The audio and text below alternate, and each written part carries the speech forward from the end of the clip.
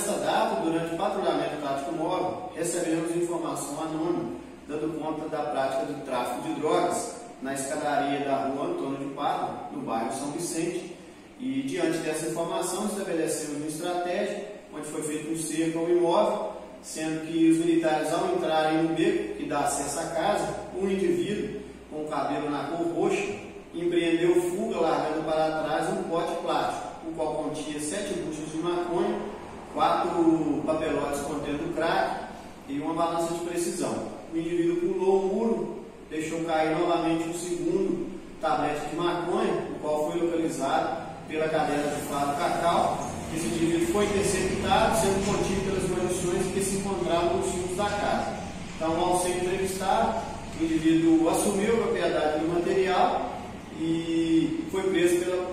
tráfico de drogas. Ao ser entrevistado, considerando que esse indivíduo figura como suspeito na prática de homicídio ocorrido no dia 23 do 5 agora, é, ele foi dialogado, perguntado a respeito, sendo que durante essa entrevista o indivíduo veio confirmar é, a prática do homicídio, inclusive relatando que teria feito os disparos e apontando um segundo suspeito, no qual já se encontra preso. Então, é, a Polícia Militar segue fazendo o seu trabalho, segue contando com o apoio da população e a polícia enfatiza que todos os esforços operacionais repressivos